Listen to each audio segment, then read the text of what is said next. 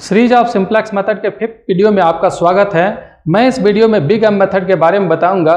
बताऊँगा कि किसी भी एलपीपी को बिग एम मेथड या पेनाल्टी मेथड से कैसे सॉल्व करते हैं। इस वीडियो के पहले मैं सिंप्लेक्स मेथड पर फोर वीडियोज़ अपलोड कर चुका हूँ। डिस्क्रिप्शन में उसका लिंक मिल जाएगा। आप वहाँ से उसको देख सकते हैं। या फिर ऊपर आ रहे आई बटन को भी प्रेस करके सिंप्लेक्स मेथड के प्लेलिस्ट में जा सकते हैं। हाय फ्रेंड्स आप देख रहे हैं YouTube channel M A classes मैं हूँ सुनील कुमार। इस चैनल पर मैं हायर मैथमेटिक्स का ही वीडियो लेकर के आता हूँ। आप यदि हायर मैथमेटिक्स अच्छे तरीके से सीखना चाहते हैं या फिर उसमें इंटरेस्ट रखते हैं तो मेरे चैनल को ज़रूर सब्सक्राइब कर लीजिए और बेल आइकॉन को भी ऑन कर लीजिए ताकि लेटेस्ट वीडियो का नए नए वीडियो का नोटिफिकेशन आपके पास आते रहे। आप सभी से मैं कहना चाहूँगा कि यदि वीडियो पसंद आता है तो आप ज़रूर लाइक कीजिएगा और मुझे कमेंट करके अपना फीडबैक ज़रूर दीजिएगा। आप इस वीडियो में क्या इम्प्रूवमेंट चाहते हैं वो भी ज़रूर बताइएगा। और अगर वीडियो पसंद आता है तो अपने फ्रेंड्स के साथ ज़रूर शेयर कीजिएगा। आप ज़्यादा से ज़्यादा शेयर करके मुझे ज़्यादा से ज़्यादा व्यूज़ दिला सकते हैं और मुझे ज़्यादा व्यूज़ मिलेगा तो मुझे एनर्जी भी मिलेगी और मैं ज़्यादा से ज़्यादा वीडियो आपको अपलोड करके दूँगा। तो चलिए शुरू करते हैं इस वीडियो को। तो फ्रेंड्स, ये बिग एम मेथड का एक सवाल हम लोग लेकर के चलते हैं। देखते हैं कि इसको बिग एम मेथड से कैसे सॉल्व करते हैं। बिग एम मेथड को चांस पेनाल्टी मेथड भी कहते हैं या सिर्फ़ पेनाल्टी मेथड भी कहते हैं। तो हम लोग को ये सॉल्व करना है solve by using big M method the following LPP इस एलपीपी को सॉल्व करना है। इस एलपीपी में आप देख रहे हैं इक्वल टू का साइन है और ग्रेटर देन इक्वल टू का साइन है। तो जिसके, जिस एलपीपी के कांस्टेंट में इक्वल टू या ग्रेटर देन इक्वल टू का साइन होता है, वहाँ पर हम लोग को आर्टिफिशियल वेरिएबल ऐड करते हैं। और जिसमें आर्टिफिशियल वेरिएबल रहता है, उसी में हम लोग बिग एम मेथड को यूज़ कर सकते हैं। अगर सिर्फ़ लेस देन इक्वल टू रहे तो वहाँ पर हम लोग को बिग एम मेथड अप्लाई करने की ज़रूरत नहीं है। आर्टिफिशियल वेरिएबल जहाँ पर रहता है उसी में बिग एम मेथड अप्लाई होता है। तो जहाँ आर्टिफिशियल वेरिएबल होता है, उसको रिमूव करने के लिए हम लोग दो मेथड है। एक two phase method two phase method से भी उस सवाल को बना सकते हैं, या फिर बिग एम मेथड से भी बना सकते हैं। तो बिग एम मेथड के बारे में बता रहा हूँ आज, क्योंकि इस टू फ़ेज़ मेथड का वीडियो मैं अपलोड कर चुका हूँ। डिस्क्रिप्शन में उसका लिंक आप देख सकते हैं। आर्टिफिशियल वेरिएबल क्या है? स्लैक वेरिएबल सरप्लस वेरिएबल सभी के बारे में मैं बताया हूँ।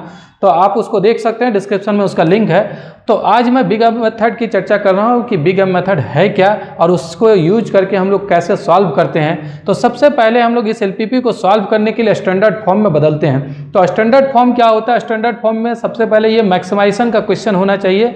ऑब्जेक्टिव फ़ंक्शन जो है उसमें मैक्सिमाइजेशन होना चाहिए। तो यहाँ ऑलरेडी मैक्सिमाइजेशन है, इसलिए उसको कुछ करने की ज़रूरत नहीं। अगर ये मिनिमाइजेशन का सवाल रहता है तो उसको कन्वर्ट करके हम लोग को मैक्सिमाइजेशन में बदलना पड़ता है। दूसरी चीज़ देखते हैं कि ये जो राइट साइड में कॉन्स्टेंट के राइट साइड में जो कांस्टेंट है, जिसको हम लोग B one B two B three कहते हैं, ये सभी नॉन नेगेटिव होना चाहिए। तो यहाँ ऑलरेडी ये नॉन नेगेटिव है, सभी पॉजिटिव है। तो अगर ये कोई नेगेटिव रहता है तो उसको हम लोग को पॉजिटिव में कन्वर्ट करना पड़ता है। तो यहाँ तो ऑलरेडी ये नॉन नेगेटिव ही है, इसीलिए इसको हम लोग को कुछ करने की ज़रूरत नहीं है। तो मैक्सिमाइजेशन का सवाल है, सभी बी जो है, वो नॉन नेगेटिव है, इसीलिए ये दो काम करने की ज़रूरत नहीं है। अब हम लोग उसके बाद इंट्रोड्यूस करते हैं स्लैक सरप्लस और आर्टिफिशियल वेरिएबल और इसको इक्वलिटीज में कन्वर्ट करते हैं। तो यहाँ पर सबसे पहले हम लोग क्या करेंगे कि इंट्रोड्यूसिंग हम लोग इंट्रोड्यूस कर रहे हैं कौन कौन सा variable introducing slack variable less than equal to जहाँ पर कांस्टेंट में रहता है, उसमें स्लैक वेरिएबल इंट्रोड्यूस करते हैं। और अगर ग्रेटर देन इक्वल टू रहता है तो उसमें सरप्लस वेरिएबल इंट्रोड्यूस करते हैं। स्लैक वेरिएबल सरप्लस वेरिएबल और फिर सरप्लस वेरिएबल के बाद फिर क्या करेंगे? आर्टिफिशियल वेरिएबल जिसमें ग्रेटर देन इक्वल टू होता है या इक्वल टू का साइन होता है, वहाँ आर्टिफिशियल वेरिएबल भी ऐड करते हैं। Slack variable surplus variable and artificial variable artificial variable हम भी हम लोग इंट्रोड्यूस कर रहे हैं artificial variable the constant becomes तो कांस्टेंट क्या हो जाएगा? ये देखिए कांस्टेंट बिकम्स देखिए, सबसे पहले यहाँ पर हम लोग इंट्रोड्यूस कर रहे हैं three X one plus X two equal to का जो साइन है, उसमें आर्टिफिशियल वेरिएबल तो आर्टिफिशियल वेरिएबल हम लोग ए वन से डिनोट कर रहे हैं। A one equal to three A one यहाँ पर नहीं लिख रहे हैं हम लोग, यहाँ पर ए वन लिख रहे हैं। A one equal to three थोड़ा स्पेस यहाँ पर छोड़ दिए। क्यों छोड़े हैं, बताएँगे अभी। और फिर यहाँ पर लिखिए four X one plus three X two इसमें हम लोग एक सरप्लस वेरिएबल को ऐड करते हैं। तो सरप्लस वेरिएबल को ऐड नहीं, बल्कि वहाँ पर सब्ट्रैक्ट किया जाता है। तो यहाँ पर माइनस एक्स थ्री एक सरप्लस वेरिएबल है, और यहाँ थोड़ा स्पेस छोड़ रहे हैं, फिर यहाँ पर हम लोग ए टू अगर सर सरप्लस वेरिएबल आप सब्ट्रैक्ट कर रहे हैं कांस्टेंट को बदलने के लिए इक्वलिटीज़ में तो वहाँ आर्टिफिशियल वेरिएबल भी ऐड करते हैं, और इक्वल टू हो जाएगा ये सिक्स और फिर यहाँ पर है X one plus two X two और यहाँ ऐड करेंगे X four X three add कर चुके हैं एक्स फोर ये स्लैग वेरिएबल हो गया और उसके बाद ये हो जाएगा इक्वल टू फोर अब ये कैसे काम किए हैं? आप इसको अच्छे तरीके से समझना चाहते हैं तो मैं पहले ही बता चुका हूँ कि पहले वाले वीडियो को देखिए तो आपको पूरी अच्छे तरीके से समझ में आ जाएगा कि कैसे इक्वलिटीज में कन्वर्ट करते हैं।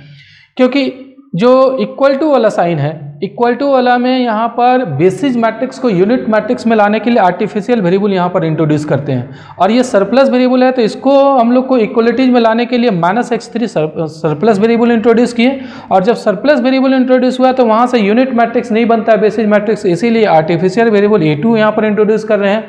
और अगर लेस देन इक्वल टू का साइन होता है तो वहाँ पर हम लोग स्लैक वेरिएबल इंट्रोड्यूस करते हैं plus X four equal to four अब ये बीच में क्यों यहाँ पर हम लोग खाली जगह छोड़े हुए हैं, इसके बारे में समझिए, क्योंकि ये एक्स वन के नीचे ये सारा एक्स वन ही है, यहाँ पर एक्स टू है और यहाँ पर x3 है तो ये ऊपर में x3 हो जाएगा और इसके नीचे भी x3 होगा। तो x3 यहाँ पर नहीं है, अगर इस कंप्लीट इक्वेशन को बनाना चाहते हैं तो आप क्या कर सकते हैं, इसको ज़ीरो x3 लिख सकते हैं, क्योंकि सभी वेरिएबल अगर सभी इक्वेशन में डालना चाहते हैं कंप्लीट बनाना चाहते हैं, क्योंकि यहाँ पर अब वेरिएबल हमारे पास x1 x2 x3 x4 a1 a2 ये सिक्स वेरिएबल्स है तो इसको भी कंप्लीट बनाना चाहते हैं तो आप ज़ीरो एक्स थ्री लिख सकते हैं। तो इसीलिए यहाँ पर खाली छोड़ दिए लिखना ज़रूरी नहीं है। आप लिख भी सकते हैं या फिर आप खाली भी छोड़ सकते हैं। तो इसके नीचे एक्स थ्री हो जाएगा, इसके नीचे यहाँ पर यहाँ पर ऊपर में जो खाली जगह छोड़ा हुआ है एक्स फोर हो जाएगा, यहाँ भी एक्स फोर हो जाएगा। ए वन के नीचे ए वन आएगा ए टू के नीचे ए टू आएगा। तो एक्चुअली होगा क्या? यहाँ पर आप ज़ीरो एक्स थ्री लिख सकते हैं, यहाँ पर भी प्लस ज़ीरो एक्स थ्री लिख सकते हैं, यहाँ पर ज़ीरो एक्स फोर लिख सकते हैं यहाँ पर भी ज़ीरो एक्स फोर लिख सकते हैं। यहाँ पर आप ज़ीरो ए वन लिख सकते हैं। यहाँ पर भी आप ज़ीरो ए वन लिख सकते हैं। इसमें ए टू है, यहाँ पर नहीं है तो यहाँ पर ज़ीरो ए टू लिख सकते हैं। यहाँ पर आप ज़ीरो ए टू लिख सकते हैं। तो इस तरीके से ये इक्वेशन जो है वो कंप्लीट हो जाता है। और आप चाहें तो इसको लिखना ज़रूरी नहीं है। पहले जैसे लिखा हुआ था, आप उस तरीके से भी छोड़ सकते हैं। तो ये हुआ जो कंस्टेंट था, उसको हम लोग इक्वलिटीज में कन्वर्ट कर लिए। और जब इक्वलिटीज में कन्वर्ट कर लिए तो यहाँ पर आर्टिफिशियल वेरिएबल ए वन और ए टू दो आर्टिफिशियल वेरिएबल है। अब यहीं पर हम लोग जो है, वो दो तरीका होता है, एक टू फ़ेज़ मेथड एक बिग एम मेथड तो हम लोग यहाँ पर बिग एम मेथड से बना रहे हैं। तो बिग एम मेथड में करते क्या हैं? इसका तरीका क्या होता है? ये आपको पता होगा कि टू फ़ेज़ मेथड में पढ़े होंगे कि ए वन ए टू जो आर्टिफिशियल वेरिएबल है, उसको रिमूव करना पड़ता है, उसको निश्चित रूप से हटाना पड़ता है। तो उसको हटाने के लिए हम लोग यहाँ पर एक ए वन और ए टू का एक बिग प्राइस असाइन कर देते हैं। ए वन का और ए टू का बिग प्राइस असाइन कर रहे हैं। कैसे बिग प्राइस असाइन कर रहे हैं, ज़रा इसको समझिए। जैसे ऑब्जेक्टिव फ़ंक्शन यहाँ पर क्या है कि मैक्सिमाइज करना है, यहाँ पर हम लोग को Z equal to minus two X one minus X two इसको मैक्सिमाइज करना है। आप देख रहे हैं ये ऑब्जेक्टिव फ़ंक्शन है। अब यहाँ पर x3, x4 वगैरह सारा जो वेरिएबल यहाँ पर यूज़ हुआ है कंस्टेंट में वो सभी यहाँ पर लिखते हैं। तो ज़ीरो एक्स थ्री हो गया प्लस ज़ीरो एक्स फोर हो गया ये दो वेरिएबल था। और उसके अलावा आर्टिफिशियल वेरिएबल है तो यहाँ पर टू फ़ेज़ मेथड में क्या करते थे? Zero A one plus zero A two ऐसा लिख देते थे। लेकिन बिग एम मेथड में क्या करना है कि बिग एम मेथड में यहाँ ज़ीरो ए वन नहीं लिखना है। यहाँ पर एक बिग प्राइस ए वन का हम लोग इंट्रोड्यूस करेंगे माइनस एम नेगेटिव प्राइस तो negative price minus M A one और यहाँ पर भी कर देंगे माइनस एम ए टू ये क्या होगा इससे? माइनस एम ए टू अब इसको मैक्सिमाइज करना है। तो ज़रा ध्यान दीजिए A1 और A2 का यहाँ पर कोई भी वैल्यू अगर आ जाता है A1 का वैल्यू मान लीजिए अगर वन ही आ गया A2 का वैल्यू मान लीजिए ये टू आ गया, और ये M जो है वो वेरी लार्ज नंबर है तो यहाँ पर ये माइनस में रहेगा तो माइनस में होगा तो ये तो मैक्सिमाइज कभी नहीं होगा क्योंकि ये काफ़ी छोटा होगा माइनस नेगेटिव है, और वो भी नेगेटिव में वेरी लार्ज नेगेटिव होगा तो वेरी लार्ज नेगेटिव हो तो मैक्सिमम कभी नहीं होगा मैक्सिमम कब होगा जब a1 का भी वैल्यू यहाँ पर ज़ीरो आ जाए और a2 का भी वैल्यू ज़ीरो हो जाए, ये और ये दोनों अगर a1 और a2 ज़ीरो हो जाएगा तो ये गायब हो जाएगा। तो इधर से ही रिज़ल्ट आएगा इसका। तो उस समय मैक्सिमम होगा। यानी कि बिग एम प्राइस यहाँ पर हम लोग असाइन कर देते हैं आर्टिफिशियल वेरिएबल ए वन का। और ये मैक्सिमाइज तभी हो पाएगा जब ए वन और ए टू ज़ीरो हो जाए। और A1 A2 ज़ीरो हो जाएगा मतलब वो A1 A2 हट गया, वहाँ पर हम लोग उसको कंसिडर नहीं करेंगे कि उसके, उसका वैल्यू जो है वो ज़ीरो आ गया। तो ये निश्चित रूप से A one A two zero बन जाए उसके लिए हम लोग यहाँ पर बिग एम प्राइस डालेंगे। बिग एम प्राइस में अगर A one A two zero नहीं रहेगा तो, तो कभी भी मैक्सिमाइज नहीं हो सकता है। मैक्सिमाइज तभी होगा जब ए वन और ए टू का वैल्यू ज़ीरो हो जाए और A one A two zero हो जाएगा तो A one A two artificial variable remove हो जाएगा वहाँ से हटा देंगे हम लोग। तो हटा देंगे तो सिर्फ़ X one X two X three X four ही बचेगा वहीं से उसका सॉल्यूशन निकलेगा। तो इसीलिए यहाँ पर बिग एम प्राइस यहाँ पर इंट्रोड्यूस करते हैं। तो क्या लिखेंगे जरा देखिए। तो लिखेंगे ऐसे कि assigning the large negative price minus M to the artificial variable A one A two जो artificial variable A one A two है, उसका large negative price minus M हम लोग असाइन कर रहे हैं the objective function becomes objective function क्या होगा? देखिए ऑब्जेक्टिव फ़ंक्शन यहाँ पर आप देख रहे हैं कि maximize Z equal to minus two X one minus X two है। तो यहाँ पर maximize Z equal to minus two X one minus X two रहने दीजिए। और जो आर्टिफिशियल वेरिएबल और स्लैक्स सरप्लस वेरिएबल इंट्रोड्यूस किए हैं, उसके बारे में भी यहाँ पर इंट्रोड्यूस कर दीजिए कि zero X three X minus two X one ये जो था मैक्सिमाइज जेड इक्वल टू यहाँ पर सिर्फ़ है minus two X one, minus X two और X three, X four, X, और ए वन, ए टू वगैरह है तो उस वेरिएबल को भी यहाँ पर इंट्रोड्यूस कीजिए तो उसको ज़ीरो एक्स थ्री कर देते हैं। देखिए, ज़ीरो एक्स थ्री, फिर ज़ीरो एक्स फोर, और ए वन, ए टू जो है, वो आर्टिफिशियल वेरिएबल का हम लोग नेगेटिव प्राइस से असाइन किए। मैं अभी समझा रहा था तो माइनस एम ए वन लिखना है और माइनस एम ए टू क्यों लिखना है, मैं अभी बता चुका हूँ उसको अब हम लोग इनिशियल बेसिक फिजिबल सॉल्यूशन निकालते हैं। तो इनिशियल बेसिक फिजिबल सॉल्यूशन के लिए क्या करते हैं? आप थोड़ा सा मैट्रिक्स फॉर्म में ज़रा इसको आप लिख लीजिए कॉन्स्टेंट को तो बड़ा आसानी से समझ में आ जाएगा। मैं यहाँ पर हटा दिया, जो ज़ीरो इंट्रोड्यूस करके लिखा था, उसको हटा दिया है। अब देखिए आप ये जो है, इसको कैसे लिख सकते हैं? अगर इक्वेशन कोफिशेंट लिखना है, किसका किसका लिखना है? एक्स वन का एक्स टू का एक्स थ्री का एक्स फोर का, और फिर ए वन है ए टू है, आप सभी का कोफिशेंट लिख जाइए। तो क्या क्या कोफिशेंट है? एक्स वन का थ्री है, इसमें एक्स टू का आप देख रहे हैं वन है x3 नहीं है तो x3 का कोफिशेंट हो जाएगा ज़ीरो x4 नहीं है तो उसका कोफिशेंट ज़ीरो और a1 का कोफिशेंट आप देख रहे हैं वन है और a2 नहीं है तो इसका ज़ीरो जो दूसरा इक्वेशन है वो है फोर कोफिशेंट मैं लिख रहा हूँ वहाँ से देख करके फोर थ्री और x3 का माइनस वन एक्स फोर नहीं है तो ज़ीरो एक्स ए वन नहीं है तो उसका ज़ीरो और ए टू का वन और लास्ट इक्वेशन से मैं लिख रहा हूँ x1 का 1, x2 का 2 और x4 है x3 नहीं है तो x3 का 0 और x4 का 1 और a1 a2 नहीं है तो ये ज़ीरो ज़ीरो तो ये जो मैट्रिक्स बन रहा है कोइफिशिएंट से, आप देखिए इसमें से बेसिस मैट्रिक्स क्या होगा? बेसिस मैट्रिक्स ये हो जाएगा, आप देख रहे हैं ये बेसिस मैट्रिक्स हो जाएगा, क्योंकि ये one zero zero unit matrix का पहला कॉलम दूसरा कॉलम ज़ीरो वन ज़ीरो और तीसरा कॉलम ज़ीरो ज़ीरो वन। ये यहाँ पर पहला कॉलम है, दूसरा कॉलम यहाँ है, तीसरा कॉलम यहाँ है। कहीं पर भी हो सकता है, उससे कोई फ़र्क नहीं पड़ता है। तो इससे यूनिट मैट्रिक्स बन रहा है। बेसिज मैट्रिक्स यही होगा। आपको पता है बेसिज मैट्रिक्स के अलावा जो वेरिएबल है, उसको हम लोग ज़ीरो पुट करते हैं बेसिक फिजिबल सॉल्यूशन के लिए। तो किसको किसको ज़ीरो पुट करेंगे? X one, X two, X three के लिए। तो ये तीनों का वैल्यू हम लोग ज़ीरो पुट कर रहे हैं बेसिक फिजिबल सॉल्यूशन के लिए। Put x one equal to zero, x two equal to zero और x three equal to zero. अब जो बेसिक वेरिएबल होगा बेसिक वेरिएबल कौन सा होगा? एक्स फोर होगा ए वन होगा और ए टू होगा जो बेसिक मैट्रिक्स में वेरिएबल इंक्लूड है यही बेसिक वेरिएबल होगा। तो अब बेसिक वेरिएबल का वैल्यू क्या आएगा? यहाँ से कॉन्स्टेंट से हम लोग लिख लेते हैं। तो आप देखिए x1, x2 और x3 ये तीनों को जब हम लोग ज़ीरो पुट कर दे रहे हैं तो देखिए क्या आएगा? X1 ज़ीरो पुट कर दिए x2 ज़ीरो पुट कर दिए तो a1 का वैल्यू आ जाएगा थ्री तो वी गेट हम लोग देख रहे हैं ये पुट करने के बाद कि we get A one equal to three आ रहा है फिर उसके बाद x1, x2, x3 को ज़ीरो पुट कर दिए तो ये ज़ीरो आ गया तो a2 का वैल्यू सिक्स हो गया a2 to equal to six और जब x1, x2 को ज़ीरो पुट कर दिए तो x4 का वैल्यू फोर आ रहा है तो x4 का वैल्यू फोर तो ये क्या निकल गया हम लोग का? ये निकल रहा है ये बेसिक वेरिएबल का वैल्यू हो गया और ये नॉन बेसिक वेरिएबल कहलाता है अब हम लोग सिंप्लेक्स मेथड का ही फ़र्स्ट जो टेबल होता है, स्टार्टिंग टेबल, उसको हम लोग बनाते हैं। तो ये स्टार्टिंग सिंप्लेक्स टेबल है विनावी कंस्ट्रक्ट स्टार्टिंग सिंप्लेक्स टेबल। तो इसमें सबसे पहले बेसिक वेरिएबल लिखते हैं तो बेसिक वेरिएबल कौन कौन सा है? यहाँ पर बेसिक वेरिएबल है ए वन, और दूसरा है ए टू, और लास्ट है एक्स फोर। ये तीन बेसिक वेरिएबल हो गया।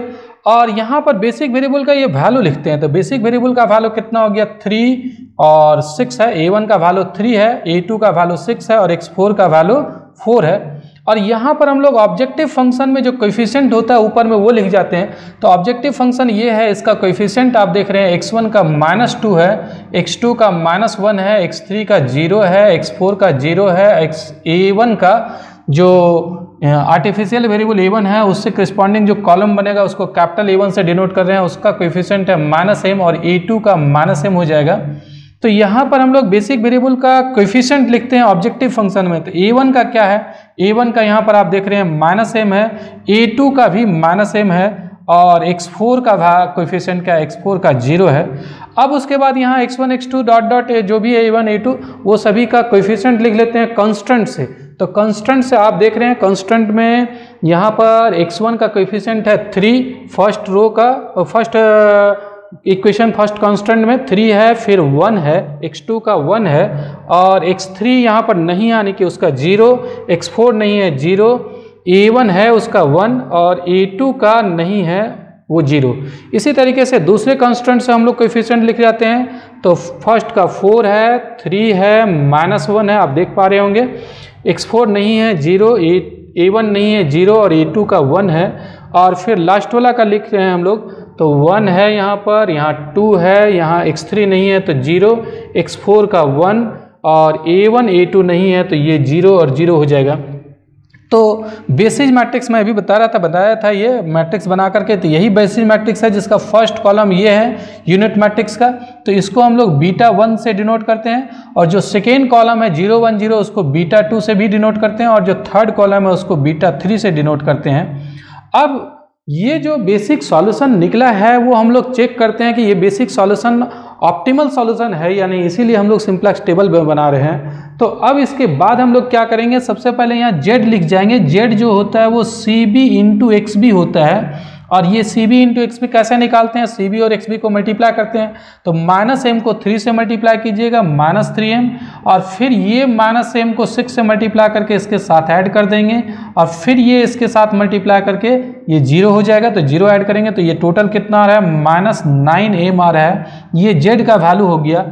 अब इस रो में यहाँ पर हम लोग डेल्टा जे लिखते हैं। तो डेल्टा जे यहाँ पर लिख रहे हैं, ये डेल्टा वन, डेल्टा टू, इसके करस्पॉन्डिंग जो आएगा वो डेल्टा वन, फिर डेल्टा टू, डेल्टा थ्री, इस तरीके से आएगा।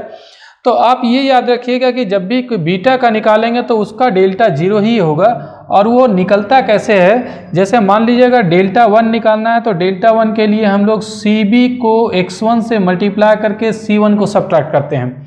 सी बी को एक्स वन से मल्टीप्लाई करते हैं और सी वन को सब्ट्रैक्ट करते हैं। ये सी वन है। तो इसको इसके साथ मल्टीप्लाई कीजिएगा तो ये आएगा माइनस थ्री एम इसको इसके साथ मल्टीप्लाई करेंगे तो आएगा माइनस फोर एम इसको इसके साथ मल्टीप्लाई करेंगे तो ये ज़ीरो आएगा और सब्ट्रैक्ट क्या करना है? माइनस टू सब्ट्रैक्ट करना है। माइनस टू को सब्ट्रैक्ट करना है तो कितना आ रहा है? Minus seven M plus two, यानी कि two minus seven M R है। तो ये डेल्टा वन हो गया। इसी तरीके से आप डेल्टा टू आप निकालिएगा तो यहाँ पर देखिए ये minus M, minus three M, minus four M और ये तो ज़ीरो हो जाएगा। और उसमें माइनस वन सब्ट्रैक्ट करेंगे तो वन माइनस फोर एम आएगा। और यहाँ पर मल्टीप्लाई करेंगे तो ये ज़ीरो यहाँ पर प्लस एम हो जाएगा, ये भी ज़ीरो तो प्लस एम आया, उसमें ज़ीरो सब्ट्रैक्ट करेंगे तो ज़ीरो इसी तरीके से इसका भी निकाल सकते हैं। देखिए, ये मल्टीप्लाई करेंगे ज़ीरो ये मल्टीप्लाई करेंगे ज़ीरो ये मल्टीप्लाई करेंगे ज़ीरो और उसमें ज़ीरो सब्ट्रैक्ट करेंगे ज़ीरो तो ये निकालने की ज़रूरत नहीं है। Beta one beta two beta three का जो डेल्टा निकलता है, वो ज़ीरो ही होता है।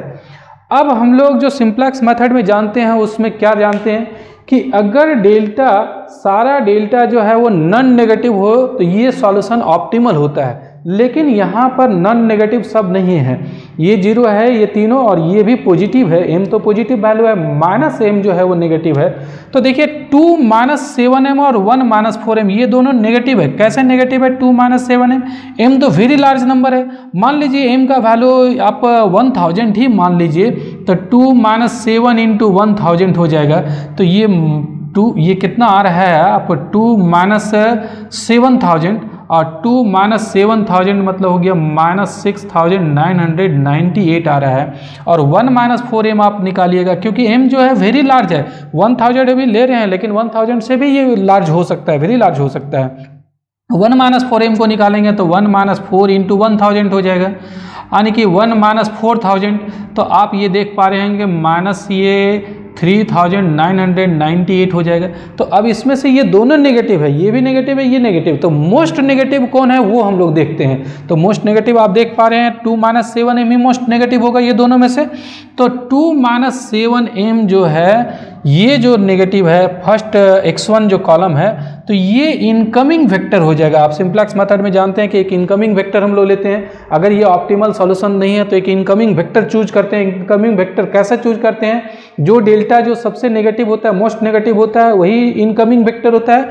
यानी कि करते क्या है कि ये जो यूनिट मैट्रिक्स आया है बेसिस मैट्रिक्स में से, उसमें से एक कॉलम को बाहर करना है और उसके बदले एक दूसरे कॉलम को इंटर करना है। तो इंटरिंग वेक्टर यही हुआ और कौन आउट गोइंग होगा, ये तीनों में से कौन बाहर जाएगा, उसको पता करने के लिए एक मिनिमम रेशियो पता करते हैं। तो मिनिमम रेशियो कैसे निकालते हैं? एक्स बी में डिवाइड करते हैं जो इनकमिंग वेक्टर है। इनकमिंग वेक्टर कौन सा है? एक्स वन है। तो एक्स बी ये है एक्स वन ये है। इनकमिंग वेक्टर से यहाँ पर डिवाइड करते हैं। एक्स बी और एक्स वन का रेशियो निकालते हैं। तो एक्स बी और एक्स वन का रेशियो निकालिए थ्री बाई थ्री हो गया। लेकिन एक चीज़ का ध्यान देना है, यहाँ पर एक्स वन का वही वैल्यू लेते हैं जो नॉन नेगेटिव होता है। यानी कि ये पॉजिटिव हो नॉन नेगेटिव नहीं पॉजिटिव होना चाहिए ज़ीरो भी नहीं होना चाहिए नेगेटिव भी नहीं होना चाहिए पॉजिटिव वाला से हम लोग डिवाइड करते हैं। तो खैर, यहाँ पर जितना भी है, वो सभी पॉजिटिव है, आप देख पा रहे होंगे।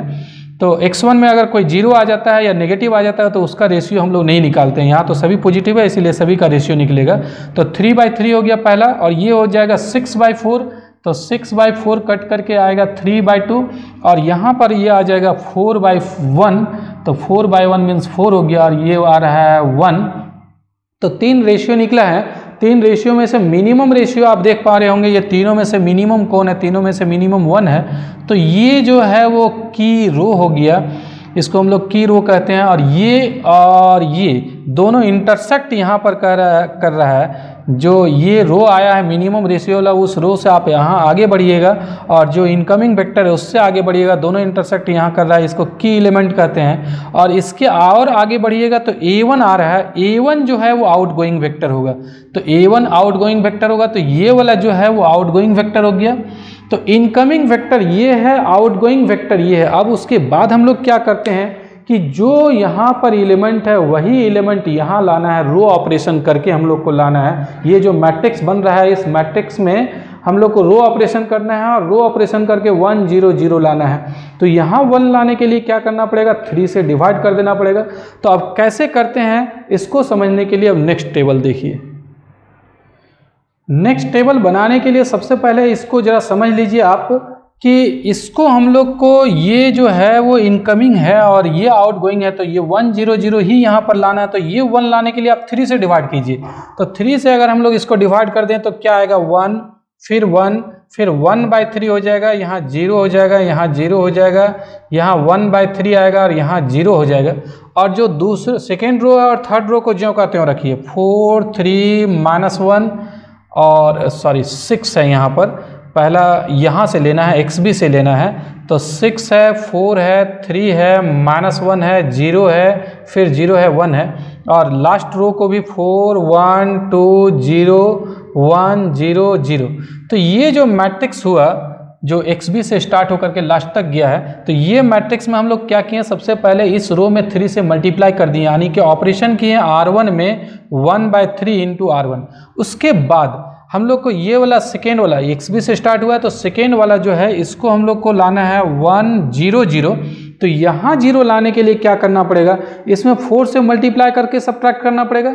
तो फोर से मल्टीप्लाई करके सब्ट्रैक्ट कीजिएगा तो क्या आएगा?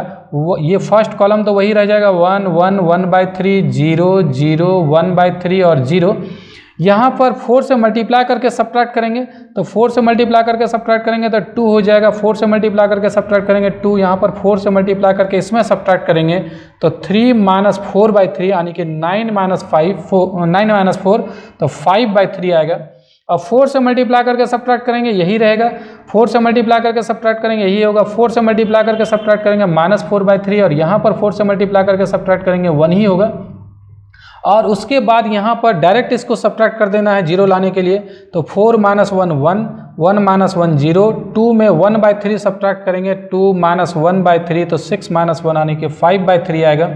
ज़ीरो में ज़ीरो सब्ट्रैक्ट करेंगे ज़ीरो वन में ज़ीरो सब्ट्रैक्ट करेंगे वन ज़ीरो में वन बाई थ्री सब्ट्रैक्ट करेंगे माइनस वन बाई थ्री और ज़ीरो में ज़ीरो सब्ट्रैक्ट करेंगे वन तो ये रफ वर्क कर लेना है, ये आप डायरेक्ट यहाँ पर लिख सकते हैं। तो यही चीज़ यहाँ पर आप लिख जाइए किसमें है? ये एक्स बी है, ये एक्स वन है, इस तरीके से ये लास्ट है ए टू तो एक्स बी में लिखिए, यहाँ पर मैं लिख रहा हूँ वन टू वन और उसके बाद है फिर वन ज़ीरो ज़ीरो फिर है one by three five by three और फिर फाइव बाय थ्री यहाँ पर हो जाएगा ज़ीरो माइनस वन ज़ीरो और फिर यहाँ पर हो जाएगा ज़ीरो ज़ीरो और वन। यहाँ पर आ जाएगा one by three minus four by three और ये हो जाएगा माइनस वन बाई थ्री। यहाँ पर आप देख रहे हैं ज़ीरो, वन और वन आ रहा है। तो थोड़ा सा लगता है कुछ मिस्टेक हुआ है। यहाँ पर ज़ीरो में ज़ीरो सब्ट्रैक्ट करेंगे, ये ज़ीरो ही होगा। तो यहाँ पर ज़ीरो ही होगा ये।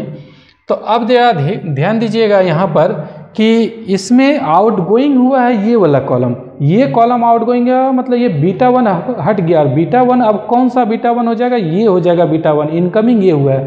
तो एक्स वन जो है वो बीटा वन हो जाएगा। और बीटा टू बीटा थ्री जो था पहले वही रहेगा। बीटा टू ये था बीटा थ्री ये था। तो बीटा टू यही होगा और बीटा थ्री ये रहेगा।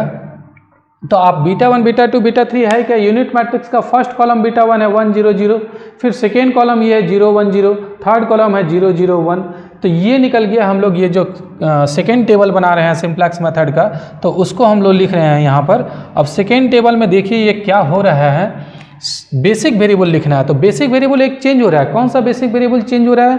अब a1 जो है, वो यहाँ से हट रहा है और उसके बदले कौन सा जा रहा है? X1 जा रहा है। तो आप a1 को हटा दीजिए यहाँ से बेसिक वेरिएबल में और उसके बदले x1 लिखिए और बाकी जो बेसिक वेरिएबल है, वही रहेगा। यानी कि a2 और x4 ये वही रहेगा।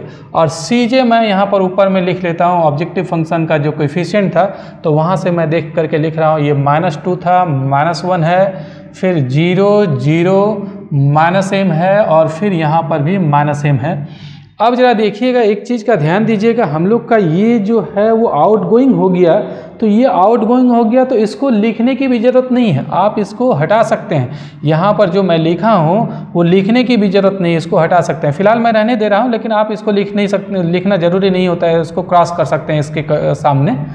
तो अब जरा देखिए, अब सी बी लिख लेते हैं। तो सी बी क्या है? X1 का कोएफिशिएंट x1 का कोएफिशिएंट है माइनस टू ए टू का कोएफिशिएंट है ए टू का माइनस एम है। और फिर x4 का देखते हैं तो x4 का कोएफिशिएंट है ज़ीरो अब z पहले निकालते हैं तो अब ये जो बेसिक वेरिएबल का, जो सॉल्यूशन आया है, वो z जो है, वो C B into X B होता है। तो सी बी को एक्स बी से मल्टीप्लाई करके लिखिए माइनस टू को वन से मल्टीप्लाई करेंगे माइनस टू और यहाँ पर माइनस टू एम हो गया। ये तो ज़ीरो हो जाएगा तो minus two minus two M आ रहा है इसका वैल्यू अब जो डेल्टा निकालेंगे, अब ये चेक करेंगे कि ये जो सॉल्यूशन निकला है, वो ऑप्टिमल है या नहीं।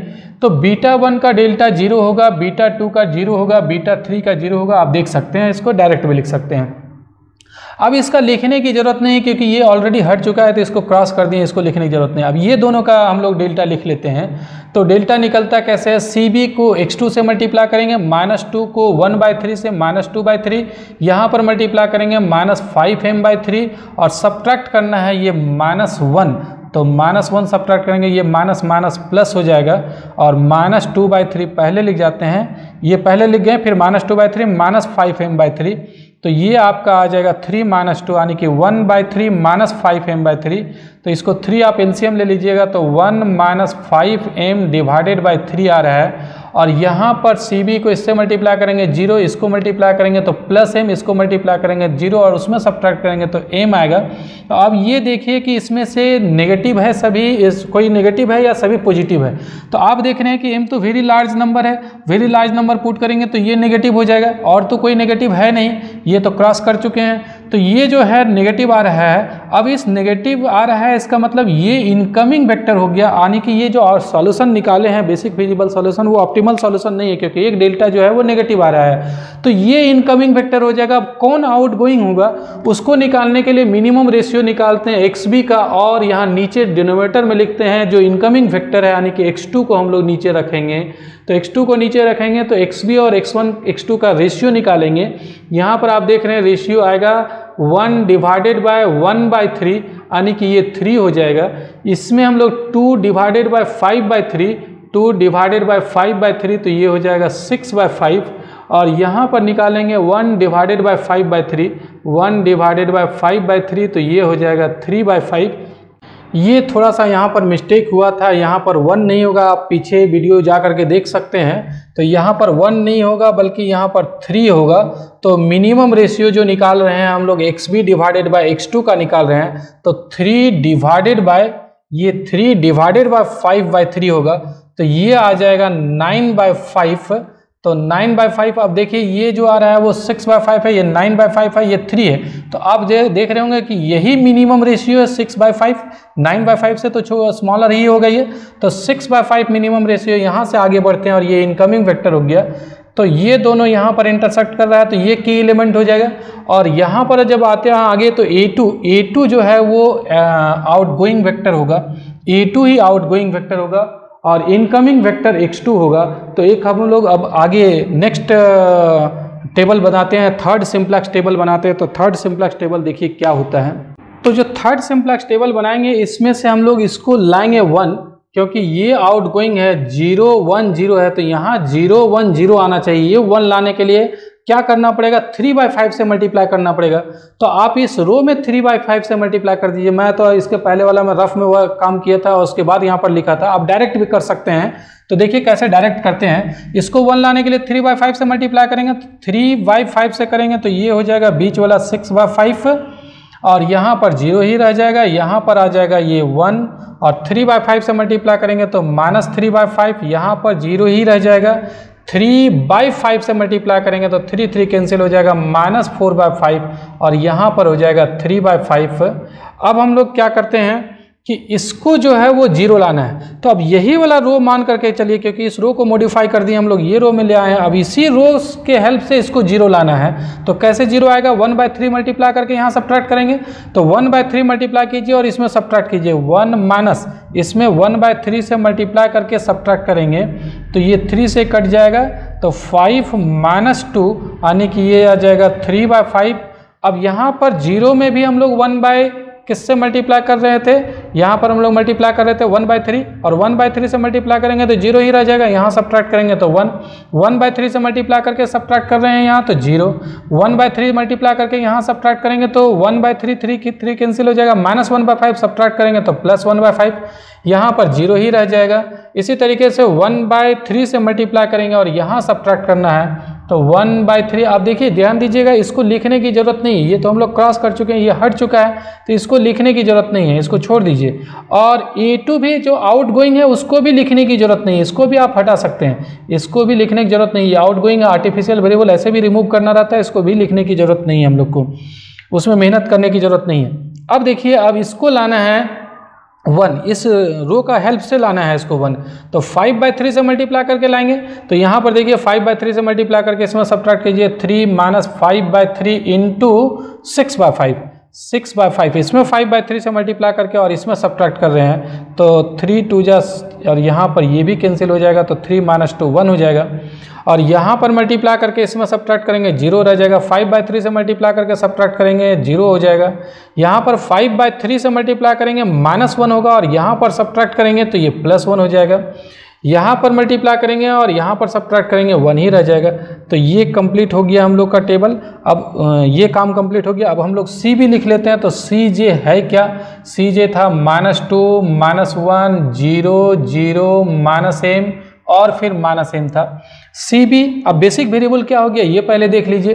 तो बेसिक वेरिएबल हटा कौन सा? ए टू जो है वो रिमूव हो गया और उसके बदले एक्स टू आ गया है। तो यहाँ पर ए टू को हटा करके X2 लिखेंगे। यानी कि यहाँ एक्स वन हो गया, ये एक्स टू हो जाएगा और ये एक्स फोर हो जाएगा। अब उसका कोफिशेंट लिखेंगे तो एक्स वन का कोफिशेंट है माइनस टू एक्स टू का है माइनस वन और एक्स फोर का है ज़ीरो अब हम लोग जेड लिख लेते हैं। Z equal to C B into X B होता है। तो सी बी और एक्स बी को मल्टीप्लाई करके लिखते हैं minus six by five minus six by five तो ये हो जाएगा माइनस ट्वेल्व बाय फाइव और ये तो ज़ीरो हो गया। अब हम लोग डेल्टा निकाल लेते हैं तो डेल्टा जे जो है वो क्या होगा? बीटा वन बीटा टू क्या है? देखिए बीटा वन ये था, ये तो ज्यों का त्यों रहेगा, और बीटा टू ये था, ये हट चुका है, और इसके बदले ये आया है तो ये बीटा टू हो गया, और बीटा थ्री एक्स फोर था। तो जो beta one, beta beta beta two, beta three है, उसका तो डेल्टा ज़ीरो होगा, उसको डायरेक्ट लिख सकते हैं। और एक्स थ्री का डेल्टा लिखना है तो सी बी को इसके साथ मल्टीप्लाई करके इसमें सब्ट्रैक्ट करेंगे। तो ये माइनस टू बाई फाइव आ रहा है, और यहाँ पर आप देखेंगे तो ये प्लस थ्री बाई फाइव आ रहा है, और ये तो ज़ीरो हो जाएगा, उसमें ज़ीरो सब्ट्रैक्ट करना है। तो ये आ रहा है one by five three by five minus two by five one by five अब आप देख रहे हैं कि सभी डेल्टा जो है वो ग्रेटर देन ज़ीरो है। सारा डेल्टा जो है वो ग्रेटर देन ज़ीरो है ग्रेटर देन और इक्वल टू ज़ीरो है नॉन नेगेटिव है तो इसीलिए ये ऑप्टिमल सॉल्यूशन हो जाएगा। तो हम लोग लिखेंगे क्या? देखिए सिंस ऑल डेल्टा जे जितना भी डेल्टा जे है वो greater than equal to zero है तो therefore the optimal basic feasible solution optimal basic feasible solution is क्या होगा? X1 का वैल्यू आपका आ रहा है x1 का वैल्यू आ रहा है थ्री बाय फाइव ये एक सॉल्यूशन और x2 का जो वैल्यू है, वो आपका आ रहा है सिक्स बाय फाइव और x5 तो स्लैक या सरप्लस वेरिएबल में कोई था तो उसका वैल्यू जो है वो वन है। तो x4 जो था, वो स्लैक या सरप्लस वेरिएबल में कोई था तो उसको लिखने की ज़रूरत नहीं है। जो हम लोग का क्वेश्चन में वेरिएबल था x1 x2 बस वही लिखने की ज़रूरत है। तो x1 का value three by five X का वैल्यू सिक्स बाय फाइव और मैक्सिमम वैल्यू जो होगा जेड का मैक्सिमम वैल्यू ऑफ़ जेड यहाँ पर जो है वो निकाल चुके हैं मैक्सिमम वैल्यू जो है वो माइनस ट्वेल्व बाय फाइव है। तो इस तरीके से हम लोग बिग एम मेथड या पेनाल्टी मेथड भी कहते हैं। इस मेथड से हम लोग इस सवाल को सॉल्व कर सकते हैं। जिसमें से निश्चित रूप से ए वन ए टू जो है वो हट जाता है नॉन बेसिक बन जाता है नॉन बेसिक बन जाएगा तो उसका वैल्यू जो है वो ज़ीरो होता है नॉन बेसिक वेरिएबल का। तो जब बिग लार्ज वैल्यू हम लोग ए वन और ए टू जो आर्टिफिशियल वेरिएबल था, उसको जब असाइन करते हैं तो निश्चित रूप से तभी ऑप्टिमल होगा सॉल्यूशन जब यहाँ पर बेसिक वेरिएबल आर्टिफिशियल वेरिएबल का वैल्यू ज़ीरो हो जाएगा। तो अपनी ज़ीरो हो जाएगा नॉन बेसिक में बदल जाएगा तो निश्चित रूप से उसका वैल्यू ज़ीरो हो जाएगा। तो इस तरीके से बिग एम मेथड को हम लोग सॉल्व करते हैं। फ्रेंड्स ये वीडियो कैसा लगा, आप अपना फीडबैक ज़रूर बताएँ। और इस वीडियो को अगर आपको पसंद आया तो ज़रूर अपने फ्रेंड्स के साथ शेयर करें। और इस वीडियो को देखने के लिए आप सभी को बहुत बहुत धन्यवाद। Thank you.